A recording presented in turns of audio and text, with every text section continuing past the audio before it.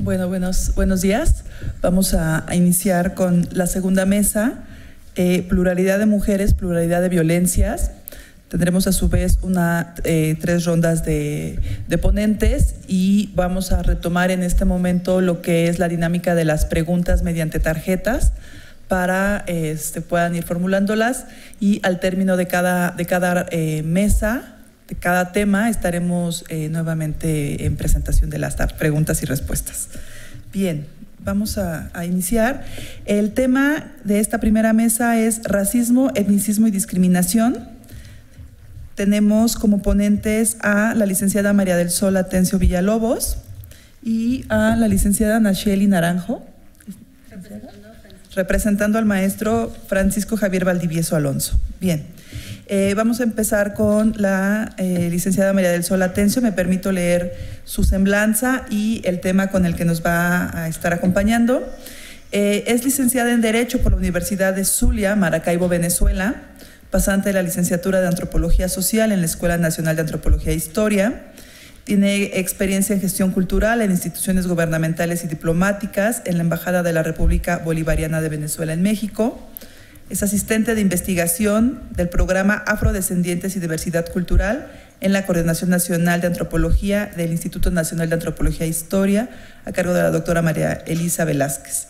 Eh, ha trabajado, tiene trabajo etnográfico en comunidades afromexicanas en Guerrero, México, y también ha colaborado en logística y organización de cursos como introducción al estudio de las poblaciones afrodescendientes en la Coordinación de Antropología del INA y sobre afrodescendientes del Instituto Harriet Truman de Canadá, en coordinación con en colaboración con la Coordinación Nacional de Antropología del INA desde el 2014. Bien, eh, la, mesa, la ponencia con la que nos acompaña es Construcción del estereotipo de carácter sexual de las mujeres negras y mulatas en México, papel y acción de las mujeres afroamericanas.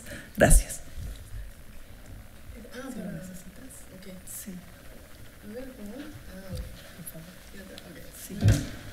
Este, buenos días. Em, bueno, muy complacida de estar en este espacio.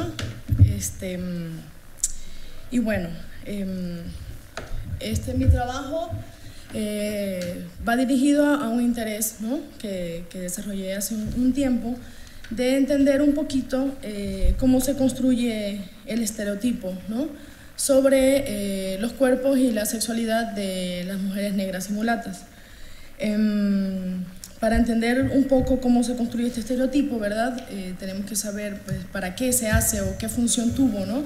en esta construcción o en qué contexto histórico y social nace. ¿no? Nace esta idea, una idea que se presenta como, como una idea preconcebida ¿no? en relación a un individuo o a un grupo étnico-social.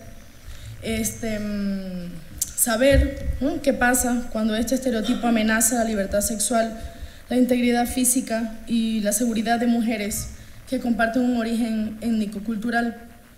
En primer lugar, eh, necesitamos entender un poco el contexto histórico, ¿no? de, cómo, de, por qué hay presencia de, mujeres afrodescendientes en México y qué obstáculos enfrentan ¿no? por, eh, en relación a, a, una doble condición, ¿no? la condición étnico-racial o étnico-cultural, mejor dicho, y su condición de género. Y y por último, eh, cuáles son sus apreciaciones, sus testimonios, ¿no? de qué manera enfrentan eh, esta, problema, esta problemática, eh, cuáles han sido sus luchas, sus logros y sus avances ¿no? como movimiento social organizado. Em, bueno, como les dije, en primer lugar hay que entender un poquito el contexto histórico. brevemente, bueno, sabemos que, que desde el principio del siglo XVI, bueno, son trasladadas al continente americano eh, personas y poblaciones africanas, ¿no? Eh, para constituir una parte fundamental en la composición étnico-cultural de la sociedad colonial. Eh, muchos de estos africanos ¿no? llegan junto con los europeos desde momentos de la conquista española en América para desempeñar labores fundamentales en la expansión. Muchos de estos africanos también tuvieron privilegios ¿no? y, y lugares importantes y es más, muchos de ellos fueron recompensados con tierras y encomiendas como reconocimiento por el servicio prestado en estas labores de conquista. Se calcula que más de 12 millones de africanos llegan a las colonias españolas en América. Em, y bueno, este, y específicamente en la Nueva España eh, se estima que más de 250.000 africanos llegan al virreinato para el desempeño de actividades de diversa índole, actividades de tipo extractivas en las minas, trabajo en las plantaciones de, azúcar y, otros productos, en trabajos en obrajes em, y la esclavitud africana en las ciudades, que es muy importante, ¿no? y que desempeñaron eh, labores como el comercio, servicio doméstico, esclavas sexuales, ama de leches, nodrizas, entre otros servicios. ¿no?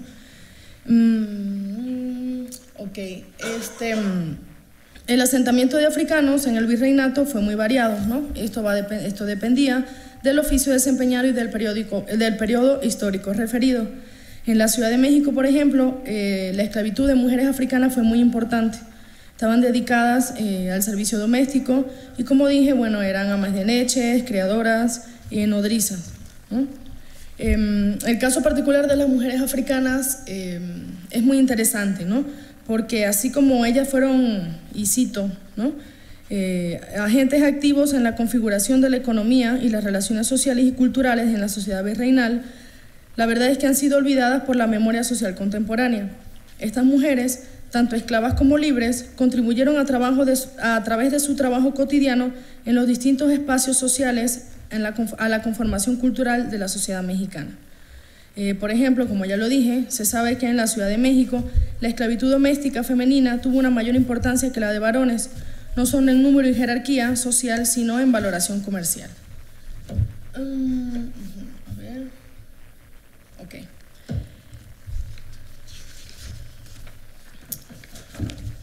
Eh, la presencia africana y afrodescendiente en México Em, ha tenido, a diferencia de otros, de otros espacios en América Latina, em, una particularidad y es que ha sido eh, históricamente negada, ¿no? han sido excluidos de la construcción histórica del discurso nacional. Eh, conocemos ¿no? que, que, la construcción de la identidad mexicana ha estado fundamentada en la, en la premisa ¿no? repetida de que la población es producto del mestizaje de los españoles y los indígenas nativos.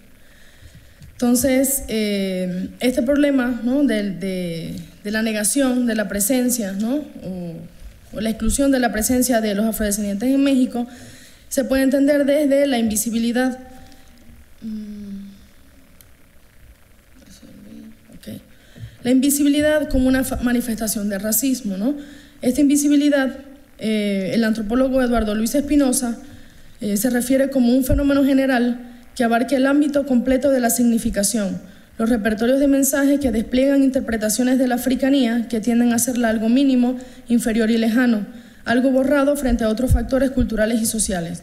La invisibilidad de un grupo cultural es un mecanismo simbólico de rechazo que lo hace imperceptible y estimula la disolución o desaparición del grupo en cuestión. La anulación de la presencia colectiva se verifica a partir de la inducción social que incentiva la pérdida de la identidad cultural del grupo, es decir, de la enajenación, de su identificación y diferenciación frente a otros. Ya como lo comenté, así como la invisibilización ¿no? es eh, una manera en que se manifiesta ¿no? el racismo, también el racismo eh, puede, puede tener otras manifestaciones, como es la segregación, la discriminación, la violencia racista, que sería como el, el punto más alto, y, pero también el estigma, el prejuicio o la construcción de estereotipos como es el caso del tema que nos ocupa, de los estereotipos asociados al cuerpo y la sexualidad de las mujeres afrodescendientes en México. Entonces, si de por sí, como le dije, eh, el, negro existe al margen de lo que somos como mexicanos, eh, citando a este, Em, María Elisa Velázquez, la mujer negra ha sufrido una doble discriminación, ya lo dije, enfrenta a dos obstáculos principales, su condición étnico-racial y su condición de género. Entonces, por una parte está la invisibilización y por el otro está la construcción del estigma de la mujer negra y mulata, que es concebida como de naturaleza hipersexual y de comportamiento desinhibido y erótico. La sexualidad de las mujeres y los hombres está directamente relacionada con aspectos sociopolíticos y culturales en este sentido, la permanencia a través del tiempo de estereotipos acerca de la sexualidad son claramente manifestaciones de racismo, son muestras de un marco significativo de expresiones establecidas entre grupos humanos a partir de características fenotípicas. Es importante eh, tener en cuenta la historia de la esclavitud, ya que la historia de la esclavitud tiene un papel fundamental en la producción de estos imaginarios sobre la sexualidad de las mujeres afrodescendientes, como construcción cultural de un género que está asociado a su raza. Por ejemplo, eh, categorías que nacieron durante la colonia como em, mujeres paganas, em, primitivas, exóticas, eh, con poco escrúpulo moral, fueron eh, innumerablemente repetidas. Y esto coadyuvó a la formación de imaginarios populares. Mm, creo que me adelanté. Bueno. Ok. Podemos ver en documentos históricos cómo se hace referencia a las mujeres africanas como esclavas de donaire, arrogantes y audaces, a veces deseadas, otras despreciadas, denunciadas en los juicios de la Inquisición de vígamas, blasfemas, hechiceras, endemoniadas. Em, en numerosa literatura latinoamericana también, eh, de épocas más recientes, siglo XIX y siglo XX, se presenta de igual manera a la mujer negra como desprovista de escrúpulos morales en lo referente a su comportamiento sexual. Por ejemplo, aquí en México conseguí un libro que se llama La, muleta, la mulata del diablo, que está basada en una leyenda muy famosa eh, de la mulata de Córdoba. Em, donde se acentúan los estereotipos de la sexualidad animal e instintiva de estas mujeres. Y cito un, párrafo del libro. Dice, Eva se dejó guiar por el instinto sexual y Dios la expulsó del paraíso. Cochina, le dijo el Señor, te bajaste los calzones. Así fui creada, Dios mío, con ardor que yo no puse en mi taparrabo. No duermo cuando me entran ganas, sudo, sueño, me consuelo de manera impura yo necesitaba probar y se me apareció el diablo, viejo, guapo, vestido de negro. Lárgate, perra desgraciada, le dijo Dios. Ya veo que las mujeres son malas. ¿No?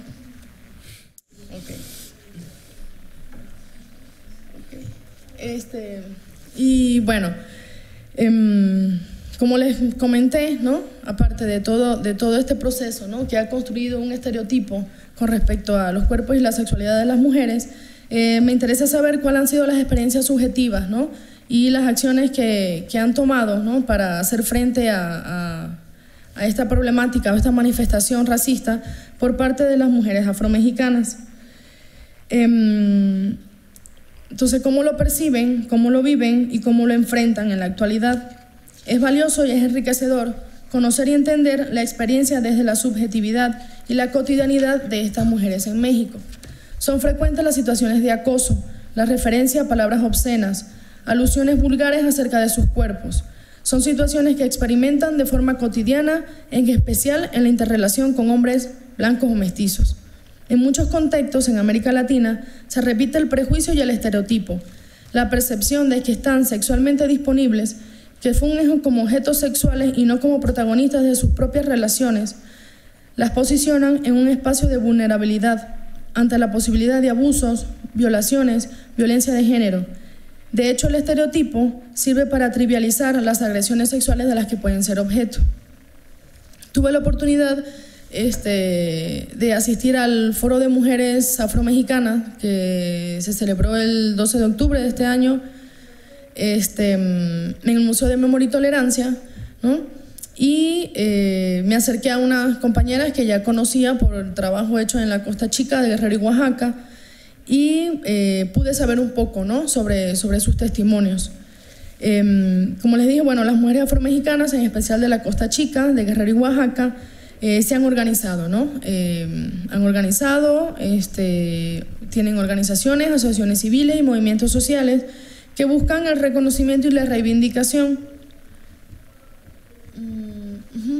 Eh, por estas dos condiciones que las afectan, que es la condición étnico-cultural, eh, étnico-racial y eh, la condición de género. ¿no? Este, ella me comenta que están en una lucha, ¿no? lucha contra el machismo, la discriminación, la violencia y el racismo de las que siguen siendo víctimas, no nada más las mujeres de esta región en particular, sino en todo el país. El movimiento de mujeres afromexicanas, si lo comparamos con movimientos afrodescendientes de América Latina, es de reciente data, debido, como ya lo he explicado, a la ausencia en la historia nacional y al reconocimiento de la existencia de estas mujeres.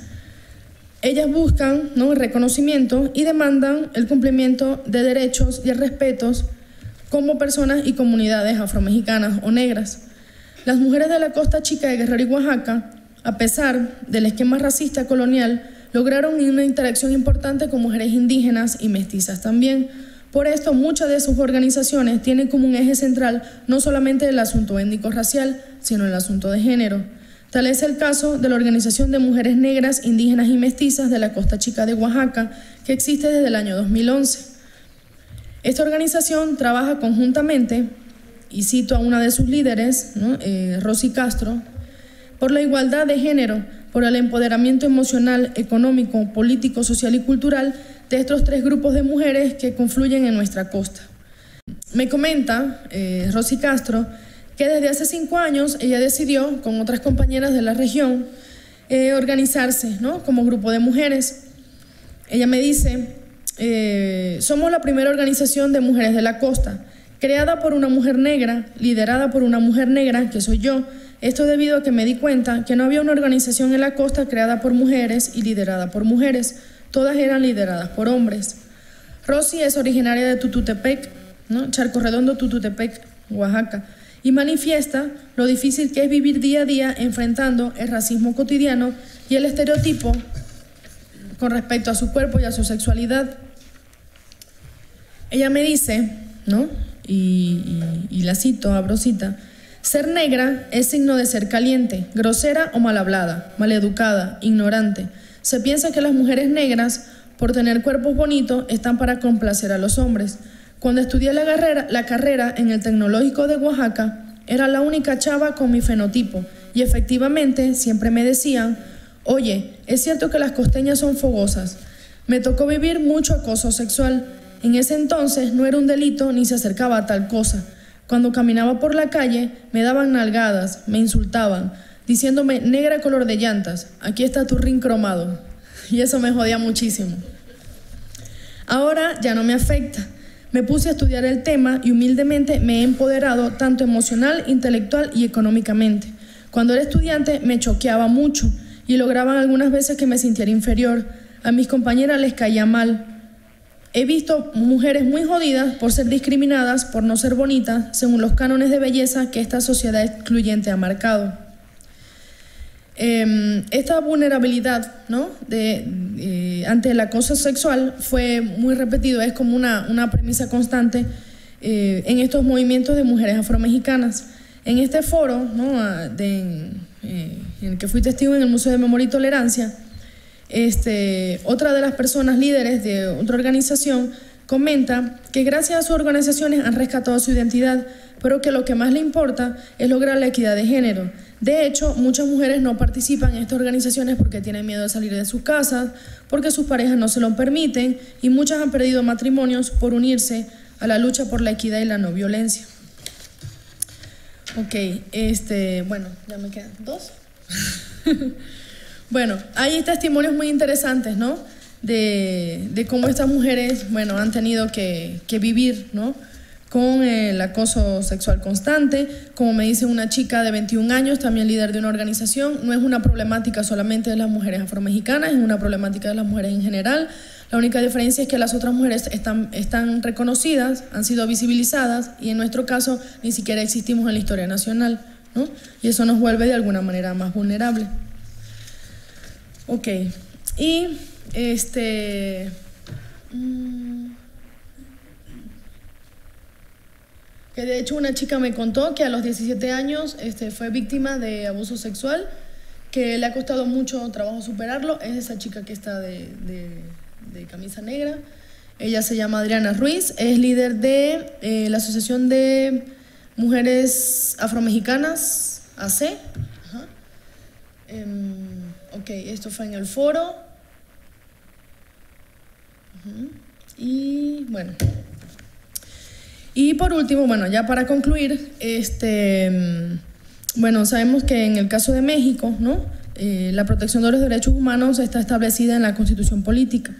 Pero, y, bueno, y a pesar de que son varios los instrumentos jurídicos internacionales de los cuales el Estado mexicano es parte, eh, todavía hay mucho trabajo por hacer, ¿no? Y hay muchos compromisos que no se han cumplido del todo. En materia de afrodescendientes, el Estado mexicano es parte de convenios con la ONU, eh, como eh, la declaratoria del 21 de marzo como Día Internacional de la Eliminación de la Discriminación Racial, este, la proclamación del Año Internacional contra el Racismo, Discriminación Racial, xenofobia, xenofobia y formas conexas de intolerancia, y actualmente es parte del de, eh, decenio 2014-2025 de personas afrodescendientes de la UNESCO. Entonces, a pesar de que en la legislación mexicana este, mm, ha habido eh, un avance, ¿no? Como ya dije, son compromisos que todavía no se han cumplido y que tienen todavía mucho camino por recorrer. recorrer. Este, mm, y bueno, eh, creo que la invisibilidad, eh, el estigma o el estereotipo que racial, racializa las relaciones entre hombres y mujeres, es una situación que, no, que comparten otros países de, América, de América Latina con México y que esta imagen y la erradicación de esta imagen de disponibilidad sexual es una bandera común de los movimientos de mujeres afromexicanas. La necesidad de que la relación con el resto de la sociedad no esté de antemano permeada por la referencia a su carácter sexual, creo que es uno de los, de, los compromisos más importantes por cumplir. ¿no? Y ya. Y bueno, y muchas gracias. Pues, pues, muchas gracias, María. realmente son de estos temas que solo en estos foros y a veces perdemos de vista la realidad de, las, de los múltiples grupos de, de mujeres, ¿no? de las múltiples características que nos, nos eh, individualizan. Eh, se habla mucho de los pueblos originarios y a veces muy poco, casi nada de lo que implican las comunidades afro-mexicanas, ¿no? y en particular de las mujeres afro-mexicanas. gracias. Bueno, vamos a pasar ahora. Em, ¿Alguien perdió? Supongo que es por eso. Sí, sí, sí. Ah, em, hay una, una credencial Bianca Bolaños Aparicio. ¿Aquí? ¿Nadie? ¿No? Bueno pues tenemos aquí la tarjeta si alguien sabe, si no, bueno, ya la pasarán nada para las otras oficinas. Eh, gracias. Bueno, vamos a continuar. En esta ocasión, eh, la licenciada Nacheli Naranjo nos va a presentar la ponencia Mejores prácticas para erradicar la violencia de género contra las mujeres afromexicanas de la Costa Chica de Oaxaca y Guerrero, que presenta el maestro Francisco Javier Valdivieso Alonso. Eh, él no pudo estar con nosotros, eh, va a estar Nacheli y bueno, me permitiré leer brevemente la reseña de, su ponencia. Es, el maestro es comunicólogo y antropólogo social por la Universidad Autónoma Metropolitana, egresado en la maestría en Ciencias Antropológicas por la misma Casa de Estudios. Sus investigaciones versan sobre movilización social y política costachiquense, por el reconocimiento constitucional federal de las comunidades africanas. Dentro de sus intereses académicos, bueno, está el estudio de la condición de las mujeres y su posición de género en contextos rurales indígenas y afrodescendientes, los procesos de racialización y el racismo cultural contra poblaciones en situación de desventaja histórica, pobreza y desarrollo social con perspectiva de género. Pues muchas gracias, Nacheli. Bienvenida. Buenos días. Eh, dos cosas. Una es que si bien la ponencia se iba a centrar en Oaxaca y Guerrero, el autor decidió solo centrarse en Oaxaca. Y lo otro, les doy el correo de Francisco por si gustan eh, darle a él los comentarios o preguntas. Y es valdiviesofrancisco.hotmail.com. Bueno, sin más preámbulo, doy lectura a la ponencia. En los últimos cinco años, en la región de la costa, Chica oaxaqueña, podemos observar la emergencia de numerosas organizaciones sociales exclusivamente de mujeres, cuyas acciones por la generación de una cultura igualitaria y de derechos, por mejores condiciones de vida para ellas y sus comunidades, así como, como sus pronunciamientos en favor del reconocimiento constitucional de los pueblos negros, comunidades afromexicanas, o poblaciones afrodescendientes apenas comienzan a ser abordados en el estudio de las poblaciones de origen africano en México. Esta presentación no puede hacer justicia a la riqueza, diversidad y complejidad de, la organización de las mujeres afromexicanas en la movilización por el reconocimiento constitucional federal y puntualmente en la consecución de sus derechos específicos como mujeres afrodescendientes o negras. Sin embargo, tomo algunos ejemplos y momentos de su contribución, no solo al impulso de la movilización, sino en el trabajo de género, por la prevención y erradicación de la violencia contra las mujeres de origen africano en la costa oaxaqueña.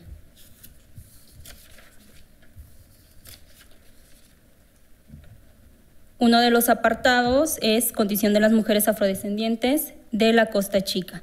Según los resultados de la encuesta intercensal 2015 del INEGI, 1.381.853 personas se autoidentifican como afrodescendientes, lo que equivale al 1.2% de la población total mexicana. De esta cifra, 704.929 son mujeres, habitantes de los estados de Guerrero y Oaxaca principalmente, quienes viven en un entorno de exclusión, marginación y discriminación y sin presencia explícita en ámbitos de las políticas públicas y la legislación. Se sabe que la sociedad mexicana ha estado marcada históricamente por la desigualdad social, económica y cultural que inhibe el desarrollo humano. Al referirnos a las mujeres, los datos registrados para la población afrodescendiente muestran que en materia de salud y educación, la cobertura total de estos derechos fundamentales no ha alcanzado el acceso universal. En este sentido, los derechos de las mujeres afrodescendientes tienen como primer marco de vulnerabilidad la condición de desventaja generalizada de sus pueblos y comunidades, que se refiere no solo a la exclusión y falta de acceso a las oportunidades, sino a los distintos campos que miden los índices de desarrollo humano, entre ellos el índice de desigualdad de género. Este último refleja la desventaja que pueden experimentar las mujeres respecto de los hombres en tres dimensiones, salud reproductiva, empoderamiento y mercado laboral. El estudio Indicadores de Desarrollo Humano y Género en México, nueva metodología, elaborado por el Programa de las Naciones Unidas para el Desarrollo en México, aporta datos importantes referidos no solo a las cuestiones económicas y sociales de los estados de Guerrero y Oaxaca, donde se asientan las comunidades más visibles de afrodescendientes, sino también representan implícitamente los aspectos culturales que embrollan el desarrollo de las mujeres en los ámbitos de la salud, educación y trabajo. Por otra parte, Cecia y otros sostienen que las mujeres afrodescendientes de la costa chica oaxaqueña tienden a vivir en contextos marcados por su triple condición de género, raza y clase, que las coloca en una situación de mayor vulnerabilidad tanto en lo local, en sus familias y comunidades, como en lo regional, en las relaciones intercomunitarias y en sus interacciones con los servicios del Estado, por ejemplo.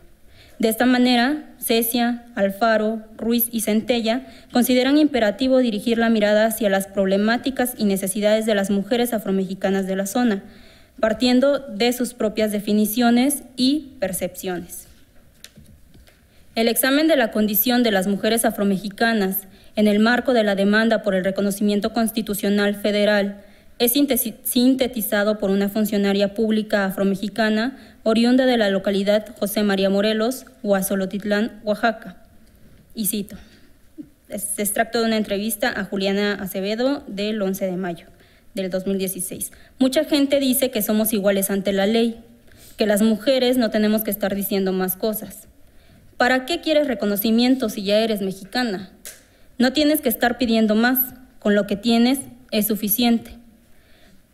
Pero si tú vives en las comunidades y sufres las carencias, el trato tan desigual fuera de ellas, el que se vea coartada tu libertad de tránsito, el que siempre te estén viendo como extranjero, el hostigamiento sexual, las ofensas racistas en la calle, que no te den el, el servicio de salud adecuado, la falta de oportunidades para acceder a empleos formales, creo que hasta entonces lo entiendes. Este testimonio resume sistemáticamente las múltiples, agravadas y concomitantes condiciones de desventaja histórica a las que han estado sujetos las y los y las afromexicanas, así como las violaciones a sus derechos humanos. Si bien las violaciones a los derechos humanos afectan tanto a hombres como a mujeres debido a su aspecto físico o pertenencia cultural identitaria, Su impacto varía de acuerdo al sexo de quienes experimentan las violencias. Así, los factores de riesgo o vulnerabilidad aumentan y se refuerzan por el solo hecho de ser mujer. Además, las mujeres afromexicanas se enfrentan a complejas modalidades de, discriminación debido a su misma especificidad cultural y apariencia física, entre otros factores que se añaden a su condición femenina. Por su parte, Adriana Ruiz López, integrante de la Red de Mujeres Afromexicanas AC, arguye que la promoción y defensa de los derechos humanos, específicamente los de las mujeres en la Costa Chica, es un tema desatendido y menospreciado debido a la persistencia del machismo en el plano institucional y cultural, así como al desconocimiento de las mismas mujeres de sus derechos. Otra cita de una entrevista a Adriana Ruiz López del 13 de octubre de 2015. El tema de los derechos humanos es un tema pisoteado, así como abandonado en la región. Relacionado con la mujer, todo tipo de derecho es violado, sobre todo en las comunidades aledañas a Pinotepa Nacional. Por ejemplo, una mujer no puede actuar como quiere, vestirse, maquillarse, comportarse como quiere. El machismo es lo que hace que estemos así. Hay muchas mujeres maltratadas física y moralmente. Mi punto de vista es que la poca información que tenemos las mujeres, aparte el poco interés de las autoridades para presentar propuestas en este tema, es lo que hace que el machismo persista. Toda la región está pasando por una crisis, sobre todo económica, que básicamente está dándole en la torre a todas las mujeres. Las condiciones verdaderamente son infrahumanas. De esta manera, los organismos civiles de mujeres afromexicanas plantean la necesidad de analizar el tema de los derechos humanos y de las diversas violencias desde diferentes perspectivas de trabajo que ofrezcan posibilidades de cambios culturales a la condición de las mujeres negras afromexicanas, perspectivas que cuestionen las relaciones de género marcadas por la violencia y la desigualdad, y que conlleven el respeto a los derechos humanos de las mujeres. Ahora sobre la violencia contra las mujeres. La violencia contra las mujeres ha sido una constante a través de la historia de la humanidad, constituyéndose en un grave problema de salud pública y de derechos humanos. Según diversas interlocutoras, la violencia contra las mujeres de pareja y en el hogar es frecuente en la región costachiquense. Las afromexicanas encuentran el origen de la violencia contra las mujeres en la falta de comunicación en las relaciones sociales y familiares, así como en la herencia cultural que se transmite generacionalmente entre varones como un dispositivo de control y dominación de las mujeres, porque así lo enseñaron. De esta manera, definen la violencia de género como una violación a la paz, situaciones problemáticas, o como los golpes, las humillaciones, los insultos, la desconfianza, presentes en las relaciones interpersonales. También la situación de las mujeres afromexicanas es particularmente crítica al ser sujetas de múltiples formas de discriminación, por el hecho de ser mujeres, por sus características somáticas, por su adscripción étnica y cultural y por ser pobres. Desde que nacen pueden enfrentarse a formas de discriminación, abusos y violencia. Por ejemplo, en las relaciones interétnicas de matrimonios mixtos entre una mujer afro y un varón blanco, tal como lo señala una mujer afromexicana residente de Santa María, Huatulco, Oaxaca. Y cito, mi esposo me hacía menos, que yo no valía, o sea, él no es afro, él se considera blanco y me hacía menos. Yo a raíz de ese conocimiento es que yo ya no me dejo que él me haga menos, o sea, él no vale más que yo, o sea, valemos iguales. De niña ya fui como que muy discriminada, pues me marcó mucho que se burlaran de mí. Ahí viene la negrita chistosa, habla chistoso, no pronuncia la S. Una de las expresiones de la violencia contra las mujeres en los espacios públicos, dentro y fuera de la Costa Chica, es el acoso sexual callejero en la zona costachiquense es frecuente que algunos varones manifiesten o resalten algún atributo físico de las mujeres, considerando que un piropo es un atributo a la belleza, a la apariencia o edad de las mujeres, específicamente de las afromexicanas. No obstante, basta con ser mujer para que te digan piropos, a veces agradables, a veces ofensivos. El acoso sexual en lugares públicos dirigidos a las mujeres afrodescendientes incluye no solo expresiones verbales y físicas, sino también persecuciones, como lo ilustra la narración de Mayreli, joven estudiante afromexicana de Pinotepa Nacional. Y es el extracto a una eh, entrevista. En la costa Ni siquiera puedes salir con una blusa escotada. Hay quienes se te avientan, toquetean. Otros te dicen cosas muy feas. Me dicen que qué chichotas tengo. Una vez en la central de Abasto, de la ciudad de Oaxaca, me siguen y se me acerca un tipo y me dice, ¿cuánto cobras, mamacita? Y ahí sí me enojé mucho. Le dije que se callara y que se largara, pero con muchas groserías. Sí me dio mucho coraje. Aquí en la costa tantito te ven y ya te están chiflando, diciendo de cosas feas, no solo a nosotras las afrodescendientes, sino a cualquier mujer. Teresa, afromexicana de 45 años aproximadamente, refirió un hecho similar en la Ciudad de México. Otro extracto a una entrevista. Morena, ¿cómo es que estás tan buena? Me lo han dicho así en México, en el metro. En donde, en donde voy caminando me han dicho, Morena, morenaza, ¿eres así o te das grasa? Fíjate, es un insulto, ¿no? No sientes un halago, un piropo bonito. Una de las representaciones estereotipadas de las mujeres negras es la hipersexualización, es decir, la creencia, basada en prejuicios y estereotipos raciales, de la potencia sexual exacerbada de las mujeres de origen africano. Al respecto, una interlocutora refiere que, cito, a las mujeres se les ve como si estuvieran dispuestas al sexo de tiempo completo. Cierro cita. Tema del que ya se habló en la presentación anterior. Por otra parte, un tema pendiente de ser documentado en la costa oaxaqueña es la violencia feminicida. Según el informe ciudadano Justicia Ya, Feminicidio y Violencia contra las Mujeres en Oaxaca a dos años del gobierno de la alternancia 2011-2012, la región de la costa oaxaqueña ocupa el segundo lugar a nivel estatal en asesinatos de mujeres. Por lo tanto, es imperativo realizar un estudio sobre la muerte violenta de mujeres y niñas por razones de género que desagregue datos respecto a la pertenencia étnica cultural de las mujeres asesinadas y conocer cómo afecta a los grupos étnicos racializados, entre ellos el de las mujeres afromexicanas.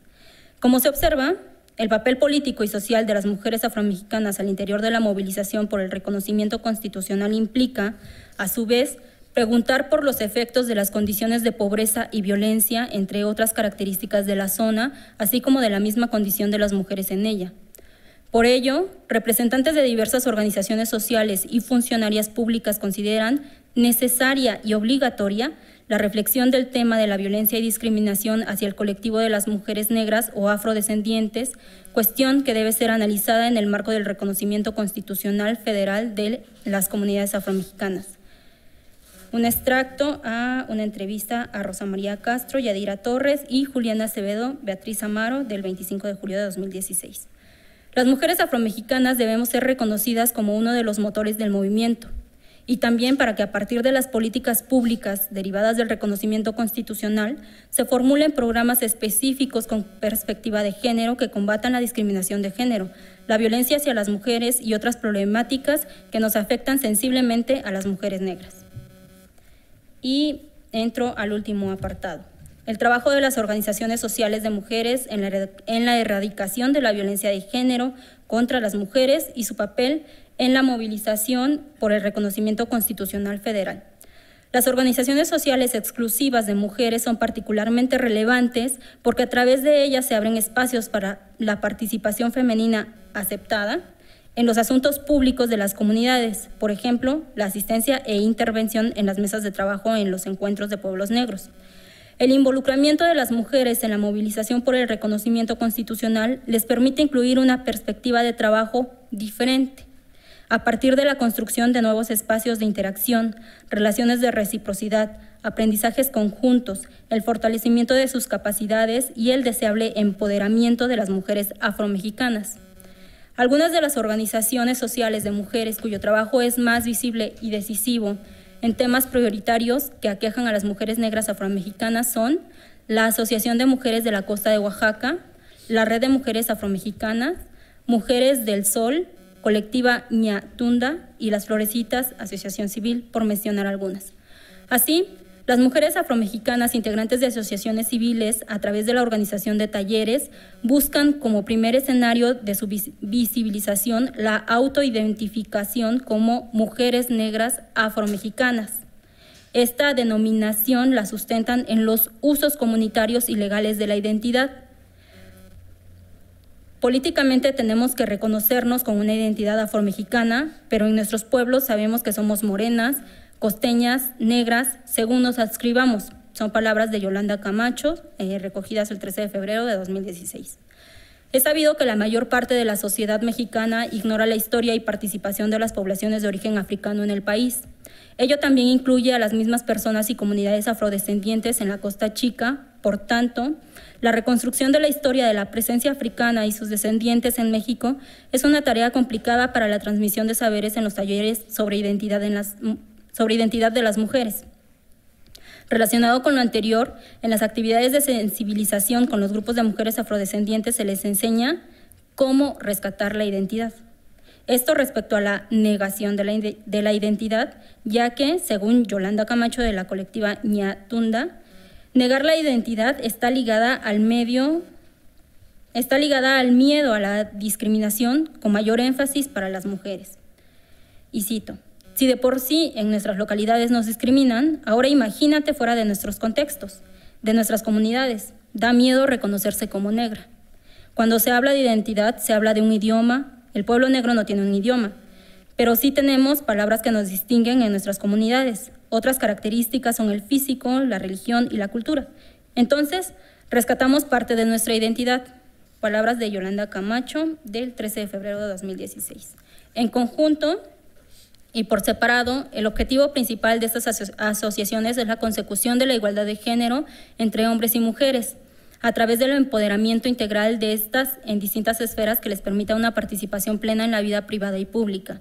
Así, enarbolan la misión de visibilizar la desigualdad, discriminación y violencia hacia las mujeres afromexicanas, pero también incluyen en dicha tarea las problemáticas que comparten con las mujeres indígenas y mestizas en la región, así como la subversión de las condiciones de inequidad, exclusión y violencia a las que han estado sujetas históricamente.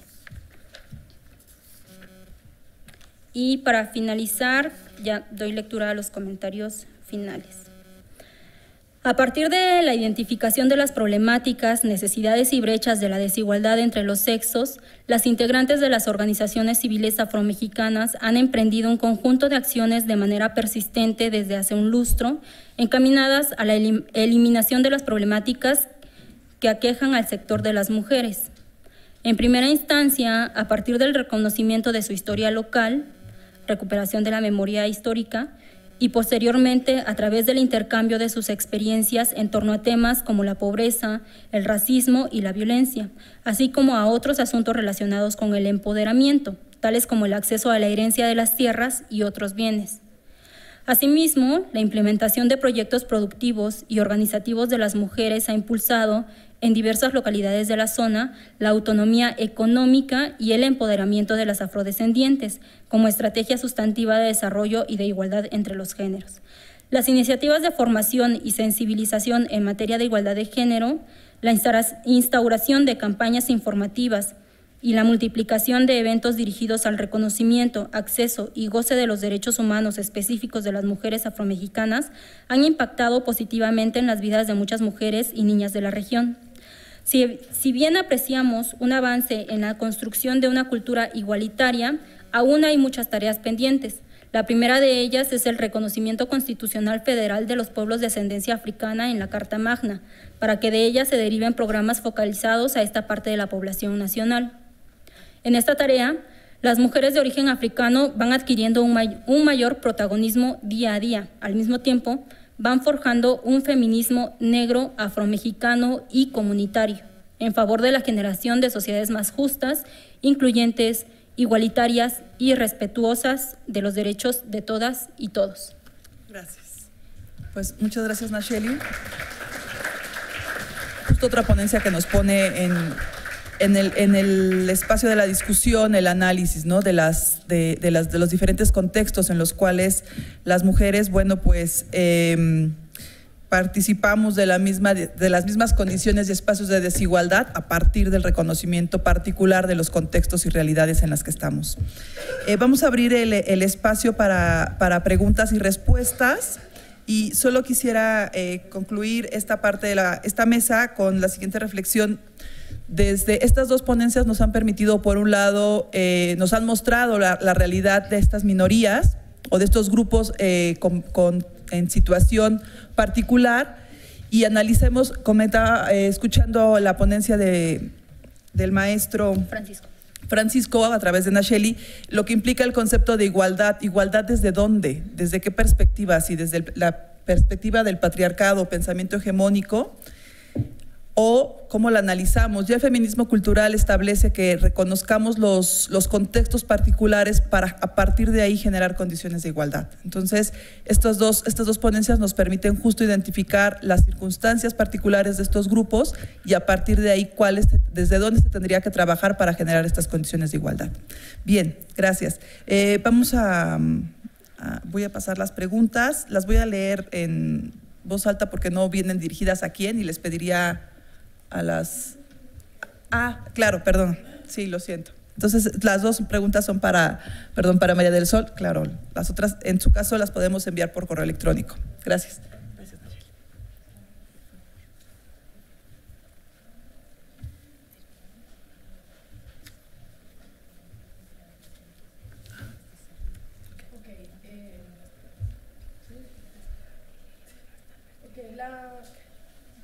No, ¿verdad?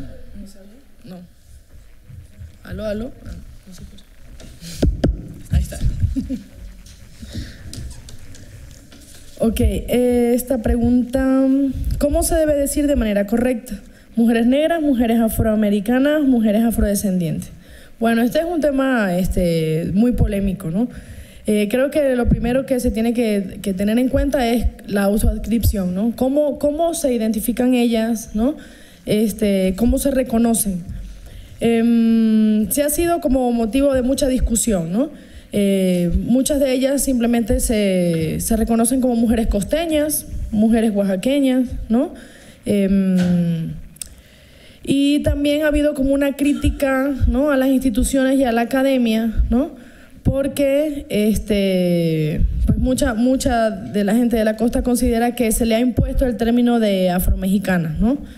Eh, lo cierto es que, bueno, por ejemplo, en el censo del INEGI, en la encuesta intercensal del 2015 del INEGI para el reconocimiento de las poblaciones afromexicanas, eh, tiene sus, sus, dimes, ¿no? Dimes y diretes. Este, pues se considera que no es un, censo que está planteado en los términos correctos, eh, por lo mismo, ¿no? Porque muchas de estas poblaciones no se consideran como afromexicanas, son negras, son costeñas, son jarochas, ¿no? Este, mm, algunas ya tienen, ya, ya se denominan como afrodescendientes, otras ya asumieron el término de afromexicanas, pero, pero eso depende, ¿no? O sea, depende de cómo se, se, se cómo se identifiquen ellas. Este, y yo no puedo decir cuál sería la manera correcta, ¿no? Creo que hay que preguntarle a ellas.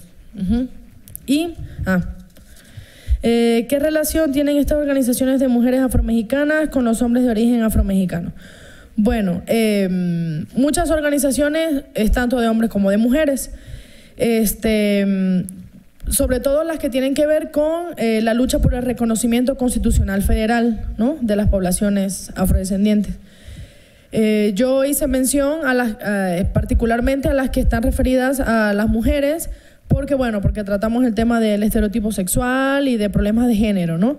Pero la verdad es que sí han trabajado también en conjunto, eh, independientemente de problemas internos que siempre existen en las organizaciones.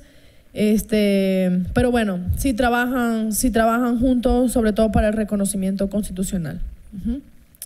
Y pues ya, creo. Bien, bien, gracias. Solo una última pregunta que sí va, fue dirigida de manera expresa a Nacheli, entonces, eh, por favor. Eh, me piden hablar sobre mi punto de vista sobre el tema que, que trata la ponencia. Em, yo creo y en general las mujeres compartimos mucho de esto que, que di lectura, ¿no? Y del tema también que, que aborda María del Sol. Y en general creo que siempre estamos haciendo críticas y analizando de cómo se nos trata como mujeres, ¿no? Y en el caso de las afromexicanas o afrodescendientes, eh, yo lo que considero es que estos espacios, las asociaciones civiles que se han creado recientemente, han generado ese espacio para la discusión colectiva, pero no es que esa discusión no haya estado presente, sino que ha existido, solo que ahora se visibiliza, ¿no? Y también eh, la lucha por eh, el reconocimiento constitucional es igual otro espacio donde las mujeres pueden ir abriendo camino para que toda esa, esa historia de discriminación y desigualdad sea visible y se pueda contrarrestar. Bueno, pues muchas gracias. Eh, vamos a entregarles a cada una su reconocimiento y un obsequio. Y una vez que terminemos, va el siguiente anuncio.